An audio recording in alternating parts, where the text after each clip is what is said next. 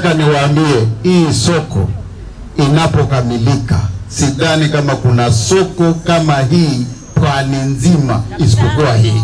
Zile kejeli kwamba mwanamke hawezi, kumbe ilikuwa uongo. Wananchi Kwale tunayo furaha kwa kweli. tumeanzisha mradi wa kutengeneza bus park, alafu tena tumeanzisha hapa market stalls ambazo tutazitengeneza na pia tutaweka kabro na drainage.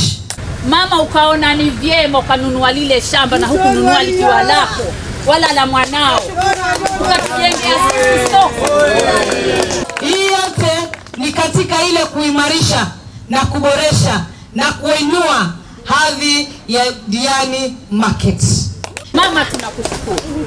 Sahii maisha ni rahisi. Hata kama sina fea na katakata huyu mwenye mishomoro naenda zangu sokoni kakote mihogo na zangu tomato zangu nimshukuru gavana wetu kwa mali ametufikisha, kwa sababu tulikuja hapa pakiwa peupe kabisa, hakuna mjengo wowote, na saa hii tunatarajia eh, kufungua hii soko hivi karibuni, kwa sababu ujenzi unaendelea.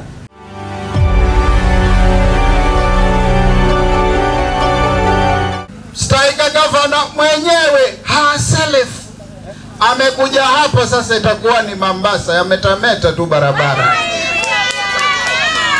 Pata ni Mama Fatuma Achani. Chapa kazi kweli halali usiku na mchana, pendo thabiti kwa wazee wa Tumekuja tu kupeana mradi wa mataa.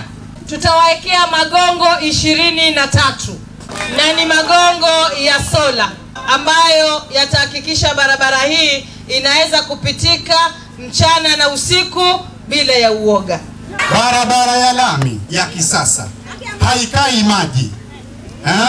Hivi sasa ukitembea hiyo barabara unaona milango ya duka, watu wamejenga biashara katika hizo hiyo barabara.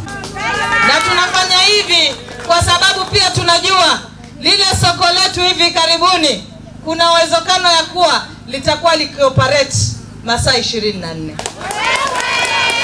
Malengo yetu sisi ni kuinua uchumi wa Kwale. Maendeleo ni mengi na tunayaona. Wacheni Kwale turinge